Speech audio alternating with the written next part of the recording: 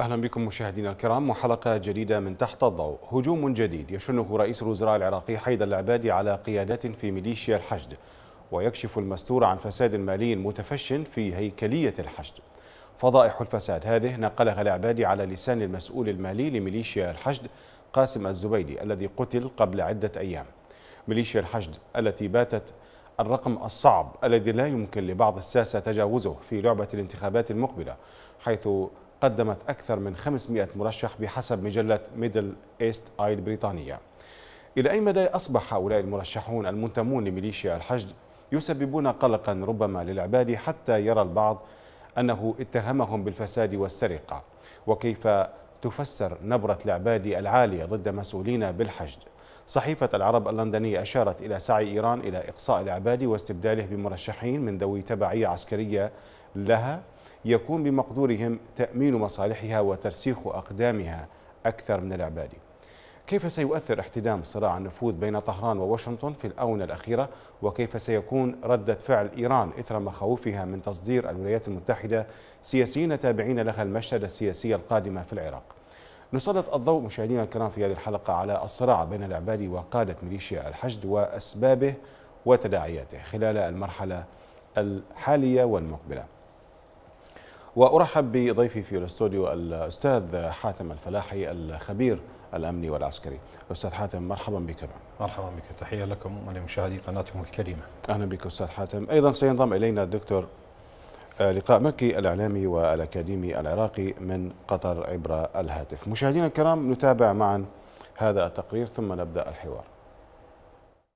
الفاسدون يأخذون أموال المقاتلين ظلما وعدوانا.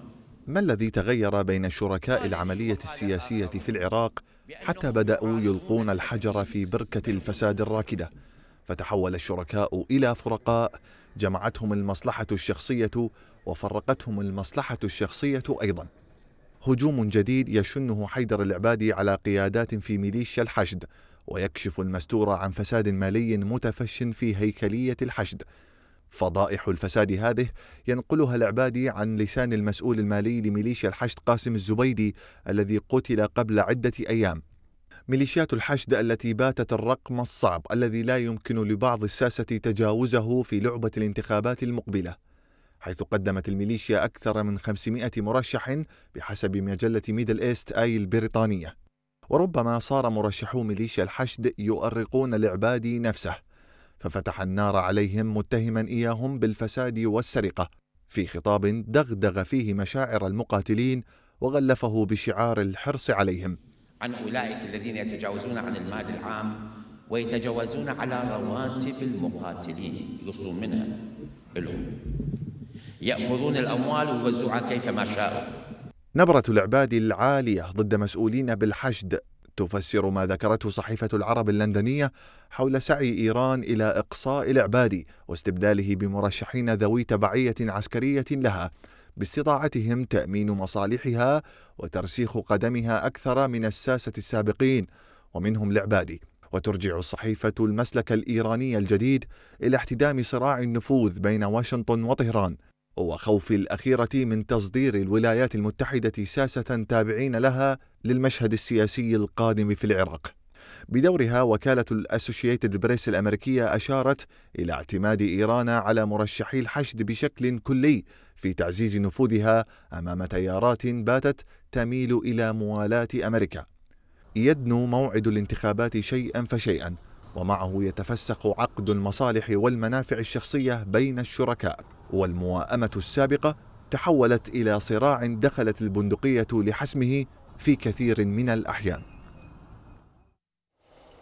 إذا أبدأ معك أستاذ حاتم الفلاحي الخبير الأمني والعسكري. يعني يبدو أنه يعني نبرة رئيس الوزراء حيدر العبادي أصبحت عالية تجاه مسؤولين في الحشد يعني.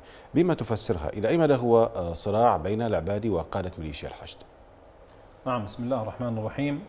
بداية أقول إن الصراع ليس بين العبادي وبين الميليشيات. الصراع أساسا هو ما بين الولايات المتحدة الأمريكية وما بين إيران في العراق.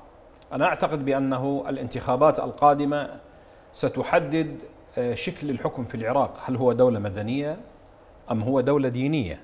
هل هو دولة أمريكية أو تابعة لأمريكا أم هي تابعة إلى إيران؟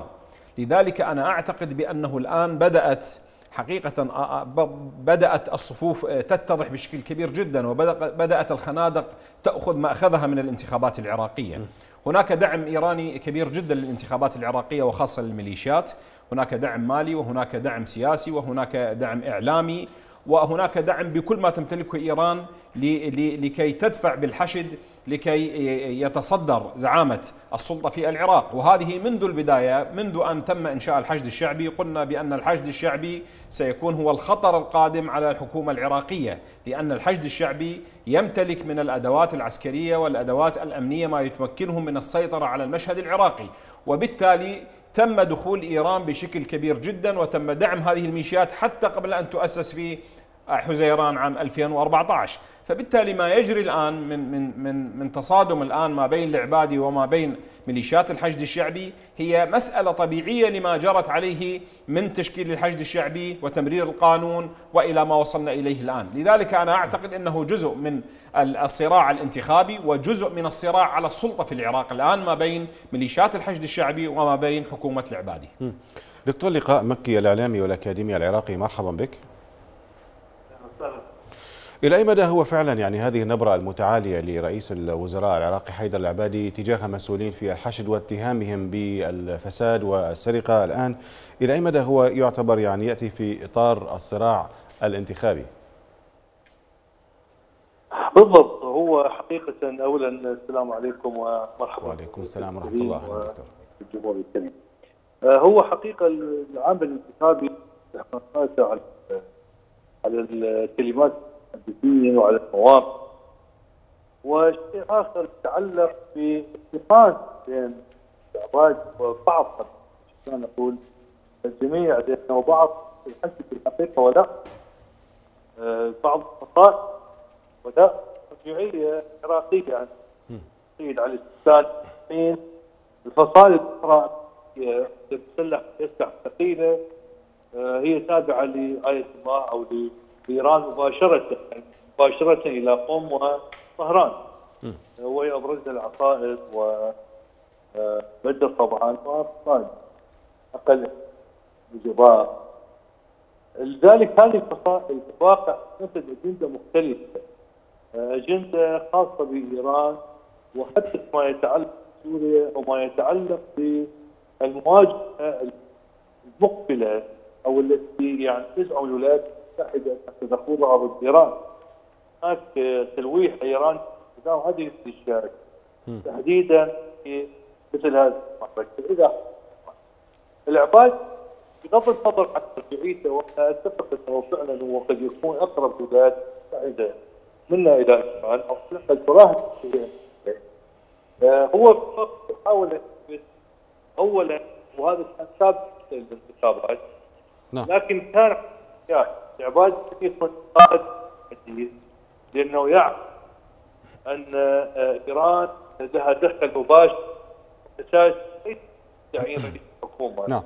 وإنما في تسهيل مهمته إيران تستطيع الآن وهو يعرف ما من التفاصيل آه، تستطيع أن آه، تعمل أو تقوم باخلال النطاق الجانب الامني يعني تظهر جماهيره غير قد افضل اسم وهذا حتى طيب.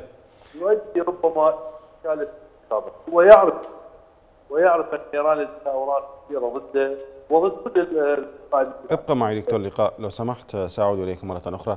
يعني هل باتت أستاذ حاتم ميليشيا الحشد في مرمى الهدف الأمريكي؟ يعني إذا كانت إذا كان الصراع هو صراع إيراني أمريكي هل باتت الميليشيا في مرمى الهدف؟ كيف ستكون المرحلة المقبلة؟ هل هناك أوراق ربما تستخدمها أمريكا ضد هذه الميليشيا؟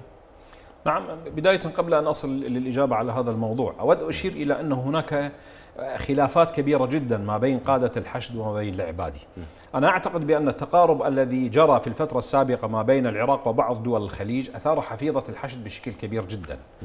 وكانت هناك اتهامات للعبادي بأنه يذهب بعيدا عن إيران باتجاه الدول العربية التي يعتبرها تعتبرها إيران بأنها هي مشروع أمريكي بالأصل يعني.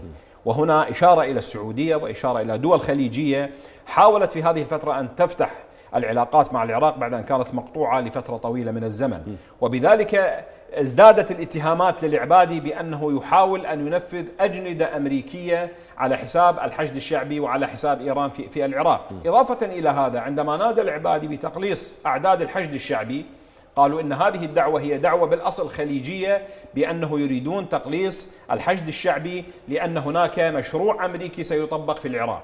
تضاف إلى ذلك خلافات أخرى منها بأنه الشركات الأمنية التي تعاقد معها العبادي بما فيها الطريق البري الذي يربط بغداد بألأردن كانت هناك اعتراضات كبيرة جدا من قبل ميليشيات الحشد الشعبي.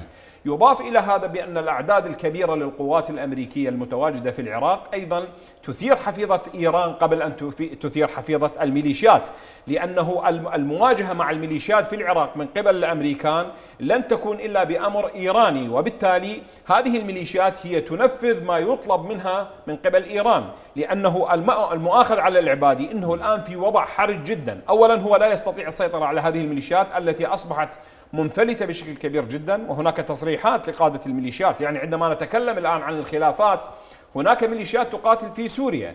زين تشكيل هذه الميليشيات في البداية قالوا لمقاتلة تنظيم الدولة في العراق. طيب لماذا ذهبت هذه الميليشيات خارج الحدود؟ ولماذا لم تتخذ حكومة العبادي إجراءات قانونية بحق هذه الميليشيات؟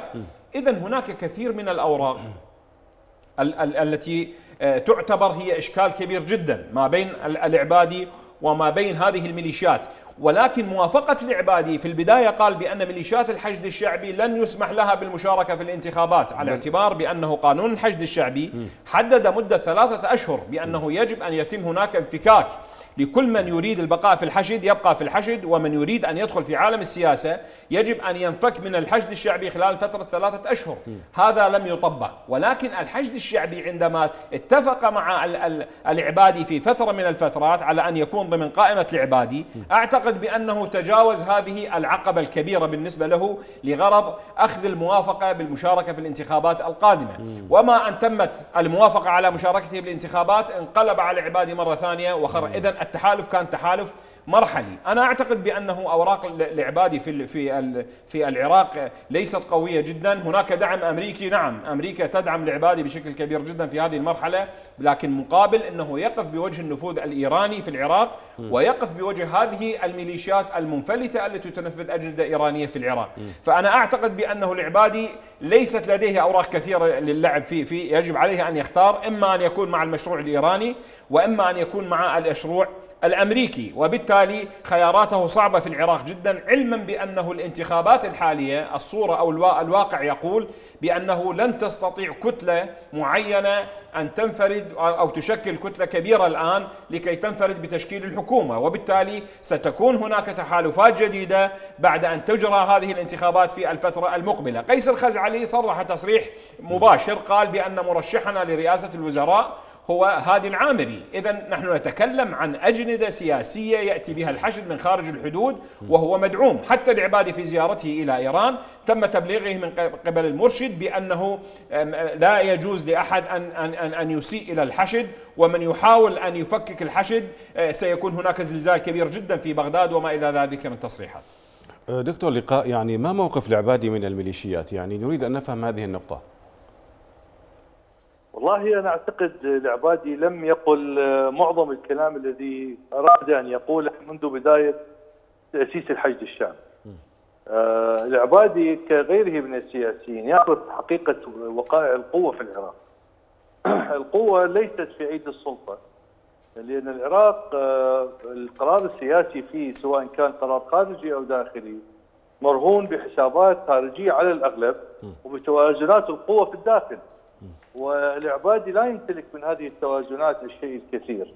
لا ننسى أنه جاء لرئاسة الحكومة في ظل وجود تنظيم الدولة في الموصل بعد الموصل وحوالي ثلث العراق. نعم. وبالتالي كان عليه أن يتعامل مع هذه الواقعة وأن يتعامل مع تطوراتها. وبالتالي حينما جاء الحشد بالفتوى المعروفة في حينها هذا الحشد فرض عليه فرضا لأنه فورا الميليشيات التي كانت موجودة بالأصل مثل عصائب وبدر وسواها آه، فورا انضمت اليه وأصبحت يعني تتحتمي به باعتباره مظلة أو أصبح لها مظلة سياسية وكان هذا موقف إيراني مباشر. إيران خلقت لنفسها قدرة على إدارة ال- العراق أو السيطرة عليه من خلال الحشد واستثمرت وجود تنظيم الدولة في العراق من أجل تمرير هذه الأجندة. الآن لا يستطيع العبادي أو حينها لم يكن العبادي قادر على رفض هذا المنهج لأنه كان سيطاح به وببساطة شديدة على الأقل هو كان في خضم معركة. أه، حينها وإحنا نتذكر لما ذهب إلى الموصل وأخذ الصورة وخطب الخطبة المعروفة نعم. لم يأتي على ذكر الحشد ابدا. هذا كان مؤشر عند الكثيرين وحينها العامري غضب عليه وكان هناك انتقادات من قبلهم. كان مؤشر على أن العبادي بعد انتهاء معركة الموصل أصبح يعني مستغني عن الحشد ولم يعد بعد يعني ب- ب- برغبة بالب- بالاستمرار بالبقاء. لكن الحشد كان أيضا محمي بقدراته العسكريه الكبيرة. هو لديه دبابات ولديه مدفعية أسلحة ثقيلة. ولا ننسى العامري في نهاية العام الماضي قال إن الحشد أقوى من الجيش أقوى قوة عسكرية في العراق. هذا معناه أنه يتحدى ال- الحكومة ويتحدى السلطات الأمنية. حينها يعني أصبح من الواضح أن هناك يعني اختيارات يجب أن تتم بالنسبة للعبادي لكنه انتظر اللحظة الحاسمة في موعد الانتخابات ليقول كلمته أو ربما جزء من ما أراد أن يقوله لأنه أيضا لا يستطيع قول كل شيء.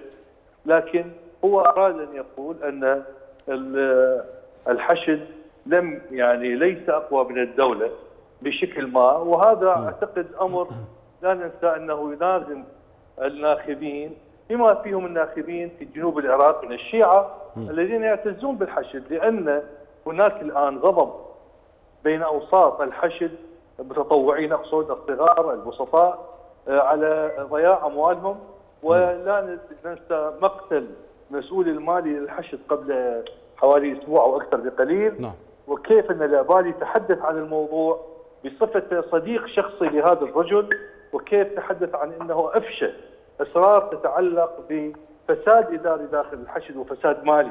هذا الموضوع في الواقع مهم جدا وأيضا أصاب آه، يعني بشكل واضح قاده الحشد الذين اتهموا من قبل العبادي بهذا التصريح نعم. بانهم هم من ينفقون أموال المتطوعية للحشد بطريقتهم الخاصة وفعلا هناك معلومات عن إن العامري أنفق حوالي 4 ملايين دولار نعم. كانت مخصصة لرعاية جرحى الحشد الشعبي على حملته الانتخابية. نعم.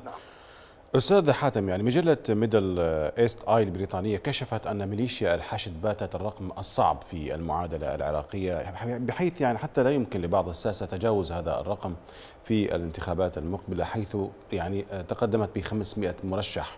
هذا يلقي ربما بظلاله على آه، صورة المرحلة آه، المقبلة وإلى أي مدى يمكن أن يصل الصراع؟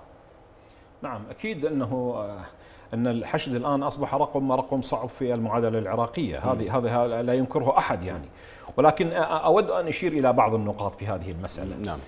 القائد العام للقوات المسلحة يجب أن تأتمر بإمرته جميع التشكيلات العسكرية بما فيها وزارة الدفاع والداخلية والحشد الشعبي أيضا. ولكن السؤال الذي يطرح الآن هل الحشد الشعبي يأتمر بإمرة القائد العام للقوات المسلحة؟ الجواب لا. لا أحد يأتمر بإمرة القائد العام للقوات المسلحة. وكانت هناك كثير من من الأشياء التي تمردت فيها قيادات الحشد على الأوامر التي صدرت إليها. يضاف إلى هذا بأنه الحشد الشعبي كثير من قادته يصرحون بأن ولاءهم هو للولي الفقيه وليس للقائد العام للقوات المسلحة. فمن الأخطاء التي ارتكبت من قبل العبادي في الفترة السابقة بأن هذا الحشد كان يجب أن يكون لديه قائد خاص من قبلهم بحيث يتحمل المسؤولية القانونية أمام الدولة في حال أنه انقلب على كثير من الاتفاقات التي جرت في الفترة السابقة. يعني مثلا مفوضية الانتخابات أعلنت أنه بأنه الحشد الشعبي هو جزء من المؤسسة العسكرية والقانون الذي صدر المرقم 36 لعام 2015 يمنع مشاركة العسكر في الانتخابات. إذا السؤال كيف تمت الموافقة بمخالفة دستورية واضحة الآن سواء للدستور أو سواء للقوانين التي صدرت من قوانين الانتخابات تم مشاركة الحشد الشعبي؟ كيف تم مشاركة الحشد الشعبي في هذه الانتخابات؟ إذا الدولة هي التي أعطت أو تماهت في كثير من القرارات التي صدرت. وأوصلت الحشد لما أوصلته الآن، يعني مثلا عندما نقول بأنه لا يجوز تشكيل ميليشيات خارج إطار القوات المسلحة، كيف تم تشكيل هذه الميليشيات خارج إطار القوات المسلحة وهذا هو الدستور الذي أقروه منذ أن جاء الاحتلال في العراق إلى اليوم والذي يعتبرونه بأنه هو الأساس في حكم الدولة. نحن نتكلم عن إشكالات كبيرة جدا في هذا الجانب. ليس ليست وليدة الساعة وإنما تراكمات سابقة أدت إلى أنه يصبح الحشد بهذه القوة بحيث رئيس الوزراء الآن لا يستطيع أن يتحكم في الحشد. يعني أعطيك تصريحات مثلا لمهدي المهندس. مهدي المهندس يقول نحن لولا دعم الذي حصلناه من إيران ومن الولي الفقيه لما تم تشكيل هذه الميليشيات. نعم. لقد تم تشكيلها على غرار الحرس الثوري الإيراني عندما فشل الجيش الإيراني في الدفاع عن إيران وتم تشكيل هذا الحرس لكي يدافع عن إيران. ونحن عملنا نفس الشيء في العراق بأننا شكلنا الميليشيات ميليشيات الحشد الشعبي للدفاع عن العراق. وكأنما يلغي دور الجيش بشكل كبير جدا. اذا نحن نتكلم عن إشكالات كبيرة جدا. حاول المالكي طوال الفترة السابقة أن يمسك العصا من المنتصف. لكي يوازن ما بين إيران وما بين أمريكا في هذا الملف.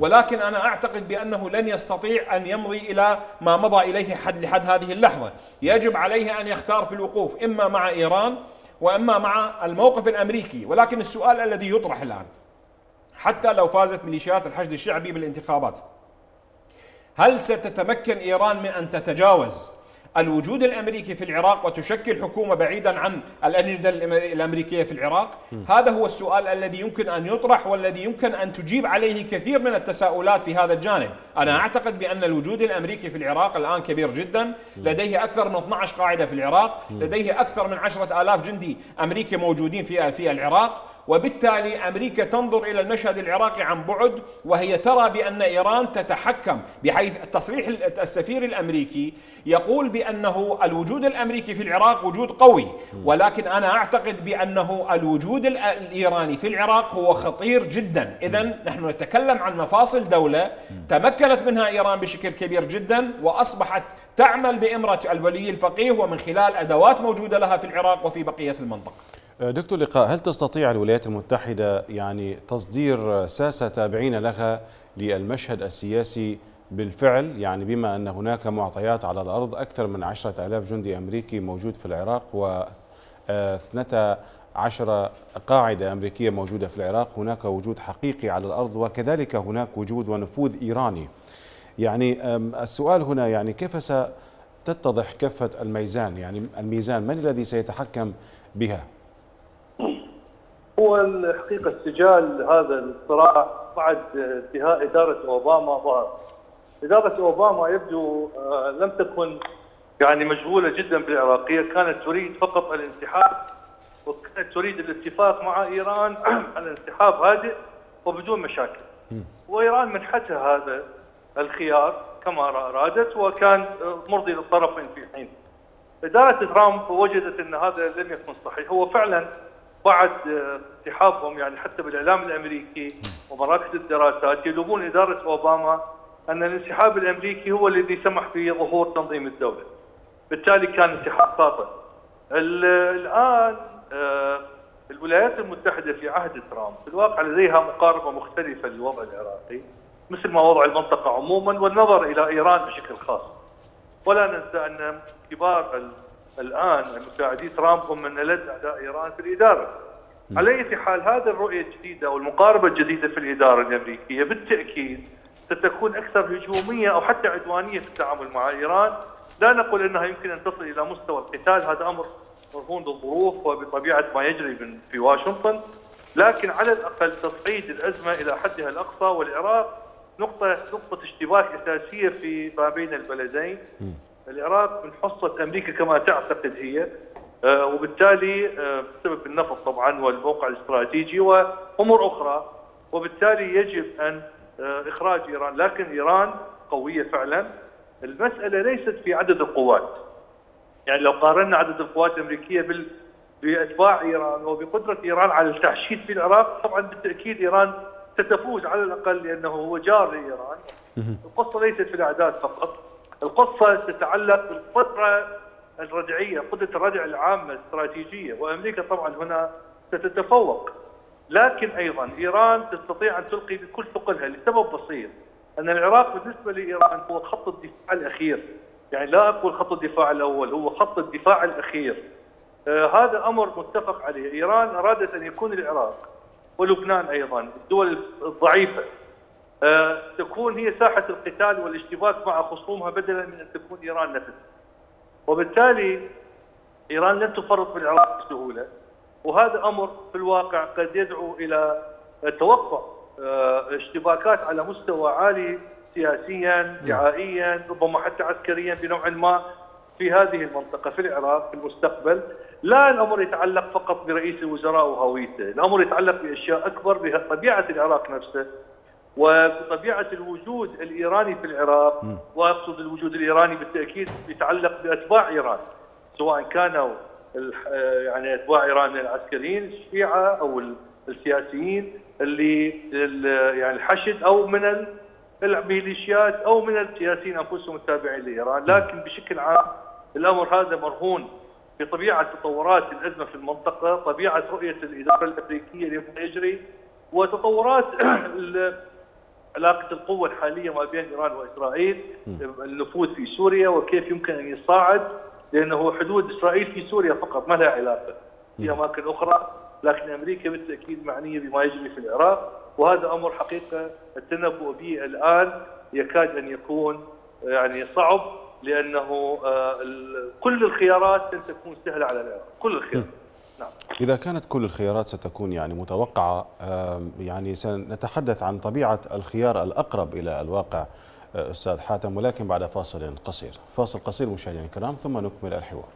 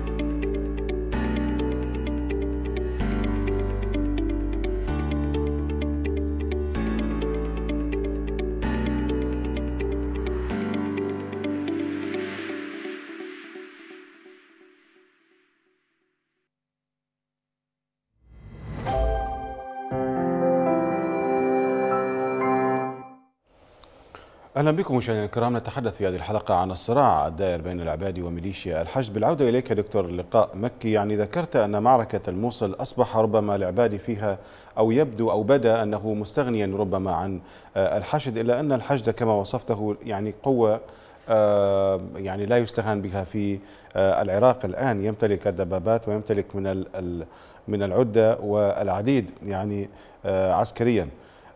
ما كيف تعلق على ما قاله أبو مهدي المهندس؟ أه، بالأمس يقول أن الوضع الأمني في العراق لا يزال حرجا. هناك أكثر من عشرين ألف عنصر أه، إرهابي من تنظيم داعش في العراق. السؤال ألم تعلن الحكومة النصر بعد تدمير مدينة الموصل؟ ما الذي يحدث؟ والله هذا يعني كلام أبو مهدي المهندس أه، يعني عادة تجار الحروب لا يستطيعون الاستغناء عن الحرب أو انهيار الأمن لأنه تجارتهم تبور يعني بدون حرب وبدون وجود آه، تنظيم دولة وبدون ماذا سيفعل ابو مهدي المهندس وما هي قيمته بالنسبة للجماهير أو للناخبين. لذلك هو حينما يذهب إلى مهرجان انتخابي سيقول لهم بالتأكيد هذا الكلام إن الخطر قائم وأن هناك عدد هائل من من الانفجاريين والانتحاريين وما شاكل. وإذا إحنا ذهبنا أو لم تنتخبونا سيأتي هؤلاء ليقتلونكم أو يفجرون يفجرونكم. يعني القصد واضح. آه، أعتقد إنه هو يعني تخويف. نعم صحيح قد يكون جزء من كلامه صحيح. وفعلا لأنه المساله لا تحتاج إلى ذكاء كبير كي نعرف أن يعني هذا مش سر يطلقه أبو مهدي المهندس إنه هناك كثير من عناصر التنظيم هربوا من الموصل أو من أماكن أخرى واختبأوا بين الناس. هذا أمر متوقع جدا. وإذا لم يكن هناك فمع سياسة التهميش والظلم المستمره سيظهر آخرون ربما يكونون أكثر قسوة وعنفا منهم. يعني هاي مسألة أيضا مفروغ منها وهم يعرفونها. لكن السؤال هو إذا كان أبو مهدي المهندس سيحمي الناس بعد كم سنة سيأتي ليقول هناك عشرة آلاف آخرين ينتظرون وهكذا ستطول الأمر ويعني الكرة كل مرة نعود إلى المربع الصفري وأن هناك المزيد والمزيد. قصد أن أبو مهدي المهندس بالتأكيد أراد تخويف الناس. القصة أن الحكومة أعلنت انتهاء يعني استعادة الأراضي اللي تسيطر عليها لكن آه، تدمير جميع الأشخاص هذا مستحيل غير ممكن.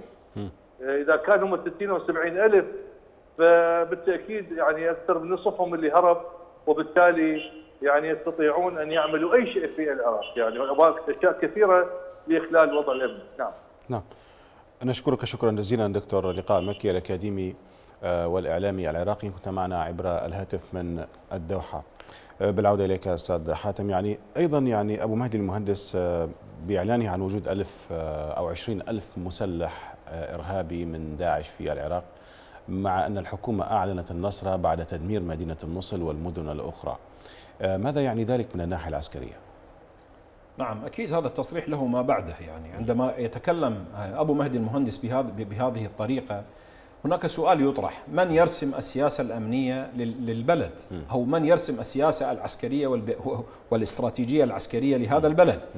هذا تساؤل كبير يثار في هذه المسألة. هل أبو مهدي أبو مهدي المهندس هو المسؤول عن هذه القضية؟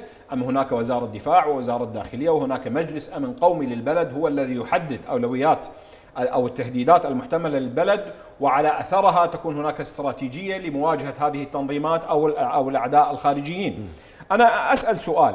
هذا الطرح يريد من خلاله أبو مهدي المهندس ان أن يتخندق الناس طائفيا على اعتبار بأنه لا زال هناك تهديد الذي هو تهديد تنظيم الدولة قائما وبالتالي يحق لهم الاعتقال والقتل والدخول وما إلى ذلك من أمور تجري حتى الآن في في الحويجة وفي مناطق كثيرة من أهل السنة. هم لحد الآن لم يرجعوا أهل السنة التي تم تطهير مناطقهم منذ منذ ثلاث سنوات وأربع سنوات جرف الصخر وعزيز بلد ومناطق كثيرة. إذا نحن نتكلم عن استراتيجية خارج إطار الدولة تعمل. يعني عندما نسأل الآن التصريحات التي تصدر عن قيادات الحشد باتجاه الداخلية والخارجية نعم. باتجاه دول الجوار أو سواء كانت داخل العراق. ألا, ألا, ألا يجب أن تكون عليها هناك مساءلة قانونية بهذه التصريحات التي تصدر؟ من الذي حاسب من, من, من الحكومة؟ لا أحد يستطيع أن يحاسب الحشد. أنا أقول بأنه أمريكا في الفترة السابقة كانت تنظر إلى الحشد طبعا هذا التصريح على لسان السفير الأمريكي نعم. آه، سليمان دوغلاس يقول في في في في تاريخ 3 4 2017 يقول المشكلة بأنه ليس بإدماج الحشد في المؤسسة العسكرية ولكن المشكلة بأن هذا الحشد يكون ولاءه لغير بلده أي يكون الولاء إلى إيران. طيب إذا كنتم أنتم تعلمون بأن الحشد ولاءه إلى إيران لماذا تمت الموافقة على دمج الحشد ضمن المؤسسة العسكرية؟ أنا طيب. أعتقد بأنه هناك دعم أمريكي للعبادي دعم كبير جدا والدليل على هذا بأنه في الفترة السابقة تم إعطاء أو, أو تم إخراج العراق من الأزمة المالية. من خلال مساعدتهم من خلال البنك الدولي ومن خلال صندوق النقد الدولي بإقراض العراق مبالغ لكي يخرج من الأزمة المالية التي يمر فيها في هذه الفترة. هناك دعم للعبادي كبير جدا ولكن أمريكا إذا رأت في أن العبادي لا يستطيع أن يحقق المشروع الذي تريده في العراق سوف تتخلى عنه كما تخلت عن عن عن شاه إيران وعن كثير من العملاء في المنطقة، أمريكا تريد مصالحها سواء كانت مع العبادي أو مع غير العبادي، وبالتالي على العبادي أن يختار إما أن يقف بوجه هذه الميليشيات وأنا أعتقد بأنه الآن غير قادر بشكل كبير جدا على أن يقف بوجه الميليشيات ولكن يمكن أن تكون على مرحلة قادمة بعد الانتخابات بعد أن يضمن انتخابات قادمة أو نقول دورة رئاسية قادمة لرئاسة الوزراء. يستطيع من خلالها أن أن أن يستجمع قواه سواء كانت عسكرية أو غير العسكرية. وأن يعمل من خلال اتفاقاته مع الصدر وعمل مع المرجعية التي يدعون الآن بأنها لا توافق على ما يقوم به الحشد الشعبي من إجراءات سواء كانت في الانتخابات أو غيرها باستغلال دماء الشهداء وما إلى ذلك ما المطلوب من العبادي أمريكيا يعني كيف أن. كيف يكون بمقدور العبادي أن ينفذ المشروع الأمريكي أو أن ينفذ المصلحة الأمريكية كما هو معلوم أن يعني كما ذكرتم منذ بداية الحلقة أن هناك صراع ما بين إيران وأمريكا انعكس على على هذا على هذه الشاكلة اتهامات متبادلة بين رئيس الوزراء وميليشيا الحشد مع أن نعم. مع أن الميليشيا مدعومة جويا يعني هناك غطاء أمريكي للميليشيا في جميع المعارك التي آه، هي ضد تنظيم الدولة يعني وتم تدمير المدن على أساسها هم يصرحون يقولون بأنه لولا الحشد يعني لضاع العراق آه يعني. النقطة هنا يعني العبادي ما المطلوب منه أمريكيا؟ العبادي أنا أعتقد بأنه العبادي الآن تحاول أمريكا من خلال العبادي ان ان أن تمرر بعض الأشياء أو بعض المش... بعض من إجراءات المشروع الأمريكي في العراق ومن ضمنها تحديد الميليشيات بشكل كبير جدا أو محاولة فتح علاقات مع الدول العربية، محاولة تقريب كثير من من من الخصوم في السابق للعبادي إلى الواجهه السياسية مرة أخرى. العبادي لوحده لا يستطيع أن يعمل ولكن أمريكا تحاول أن تذلل له كثير من الصعوبات نعم. من خلال الاتفاق مع المكون الكردي في الفترة المقبلة تستطيع أمريكا أن تلعب هذا الدور بشكل كبير جدا تحاول أن أن تجد له حلفاء من الوسط السني في تشكيل الانتخاب الانتخاب في الانتخابات هذه لتشكيل الحكومة القادمة. أيضا يمكن دعمه بكثير من المرشحين الذين لديهم علاقات مع أمريكا بشكل كبير جدا. تحاول أمريكا من خلال هذه أن تدعم الآن العبادي من خلال صندوق النقد الدولي أو البنك الدولي مثل ما قلنا لإخراج العراق من الأزمة وما إلى ذلك من أمور. ولكن أنا أعتقد بأنه المواجهة الكبرى هي لن تكون مع الحشد وإنما ستكون مع إيران لأنه كثير من التصريحات التي صدرت من الولي الفقيه ومن قيادات الحشد بانه إذا ما كانت هناك مواجهة مع إيران فستكون القوات الأمريكية في العراق هي تحت مرمى نيران ميليشيات الحشد الشعبي. وهناك تصريحات لميليشيا حزب الله وميليشيات أخرى بأنه سوف تستهدف القوات الأمريكية في حال أن تكون هناك مواجهة مع إيران في الفترة المقبلة. وبالتالي أنا أعتقد بأنه الصدام في العراق قد يكون ما بين أمريكا وما بين إيران اولا ثم تكون ميليشيات الحشد الشعبي هي الأدوات التي ستستخدمها إيران لهذه المنازله، لذلك نرى بأن القواعد الأمريكية التي تم انشائها في العراق جميعها أنشئت في مناطق بعيدة عن المناطق المناطق الشيعية. وهذا ما ما نراه في شمال العراق وفي مناطق غرب العراق. اذا هناك تحسب أمريكي لمواجهة قادمة قد تكون مع إيران في العراق في الفترة المقبلة إذا لم يتم الرضوخ للمطالب الأمريكية لأنه أمريكا الآن تريد أن تقلص النفوذ الإيراني في العراق وفي سوريا بشكل كبير جدا. هل ستتنازل إيران عن هذا عن هذا الطموح بأنها تسمح بأن يكون هناك دور كبير جدا لأمريكا وللدول العربية في العراق في الفترة المقبلة هذا ما سنراه بعد الانتخابات إذا لم يكن هناك هدف أو إذا لم يكن هناك تحقيق لهذا الهدف من قبل من قبل العبادي فأنا أعتقد بأنها أمريكا ستلجأ إلى الخيار الآخر اللي هو المواجهة مع هذه الميليشيات على اعتبار أنه كثير منها تم إدراجها على قائمة المنظمات الإرهابية. أيضا أستاذ حاتم هناك تصعيد أمريكي فيما يخص موضوع آه، الاتفاق النووي الإيراني. آه، هناك حديث آه، لمسؤولين أمريكيين عن أن ترامب ربما ربما يعني يلغي هذا الاتفاق. فبالتالي هناك أيضا تهديد من قبل المسؤولين في نظام إيران بناء على تصريحات ترامب. يعني هل هذا ممكن أن يكون له يعني الخطوة الأولى لبداية الصراع على الأرض الحقيقي ما بين الولايات المتحدة وإيران وخصوصا تحديدا هناك من يقول أنه بعد الثاني عشر من أيار الحالي. نعم أكيد هو عندما أطلقت يد إيران في المنطقة كان من ضمن الاتفاق النووي الإيراني الذي أبرم في الفترة السابقة خمسة زائد واحد. عندما سمح اوباما بالتمدد الإيراني وتم يعني آه، تم ترك كثير من الأمور أو مثل آه، مثل ما نقول بأنه آه، أمريكا تركت إيران تتدخل في كثير من البلدان العربية مقابل أنها يتم إجراء صفقة الملف النووي الإيراني بالإضافة إلى أن هناك بروتوكولات سرية تم توقيعها من الولايات المتحدة الأمريكية وإيران. بأنه تم الاتفاق على كثير من الملفات في المنطقة، الآن ترامب عندما يريد أن يلغي هذا ال هذا ال ال الاتفاق، فأنا أعتقد بأنه كانت هناك مواجهة من قبل الدول الأوروبية بأنه يمكن تعديل هذا الاتفاق وليس إلغائه، الآن الضغوطات كبيرة جدا على إيران بأنه يجب أن إما أن يتم تعديل الاتفاق وإما أن يتم إلغائه، قد يكون هناك اتفاق أوروبي أمريكي بأن أمريكا ستلغي هذا الاتفاق مع مع إيران وتكون هناك ورقة ضغط كبيرة جدا على إيران مع بقاء بقية الدول المتحالفة أو التي اتفقت الدول الأوروبية على نفس الاتفاق السابق مع إيران لتشكل ورقة ضغط أو تشكل عامل سياسي يمكن من خلاله أن, أن, أن تجلب إيران إلى طاولة مفاوضات وأن تقبل بالحل السياسي إذن لتنازلات معينة. إذا الهدف هو يعني طاولة المفاوضات أم الهدف هو المواجهة؟ يعني آه، دكتور لقاء مكي استبعد أن تكون هناك أي مواجهة عسكرية بين أمريكا وإيران في العراق.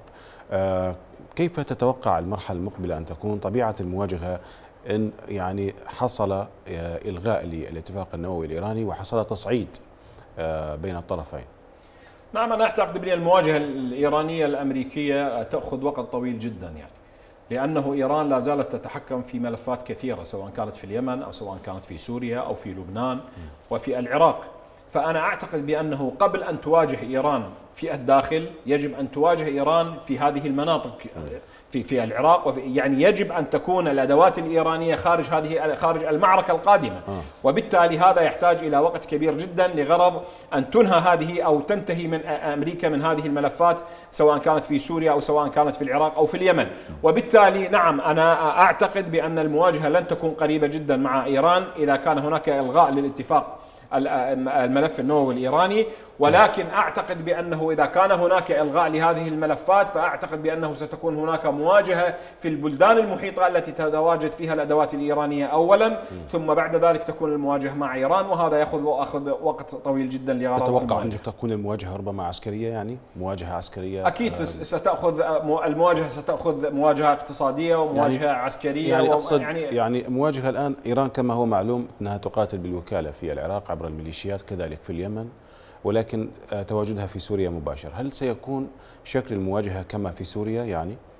والله أنا أعتقد بأنه المواجهة الآن هي قائمة سواء كانت ما بين السعودية وما بين إيران فالمواجهة قائمة في اليمن. وإذا كانت المواجهة في في في سوريا فأنا أعتقد بأن إسرائيل عندما ضربت آه، آه، المواقع الإيرانية في تي 4 وضربت المواقع الإيرانية الآن في اللواء 47 وما إلى ذلك من المناطق التي تم قصفها في الفترة السابقة هي مواجهة مباشرة مع النفوذ الإيراني في في سوريا. وهناك أعتقد بأنه هناك اتفاق على أنه يجب أن تخرج إيران من سوريا. وبالتالي نحن نتكلم الآن حقيقة عن آه، عن عن بوادر لضرب النفوذ الإيراني خارج خارج خارج الجمهورية الإسلامية الإيرانية كما يقال في في العراق وفي سوريا وفي وفي لبنان وفي وفي اليمن. وبالتالي أنا أعتقد بأن المواجهة لن تكون في بداية عسكرية وإنما ستأخذ المواجهة أشكال متعددة. يمكن أن تكون مواجهة اقتصادية يمكن أن تكون بالحصار يمكن يمكن أن تكون بفرض عقوبات يمكن أن تكون باستهداف شخصيات أو بضرب كثير من المواقع ومراكز القيادة سواء كانت في اليمن أو سواء كانت في سوريا أو سواء طيب. كانت في العراق نعم. ثم بعد ذلك يمكن أن تكون مواجهة عسكرية مع إيران. الصراع اذا هو آه، ما بين العبادي والميليشيات هو صراع ما بين إيران وأمريكا كما تحدثتم في البداية، الانتخابات القادمة أيضا كما ذكرتم ستحدد شكل الحكم في العراق، ما طبيعة آه، هذا الشكل المتوقع من وجهة نظرك؟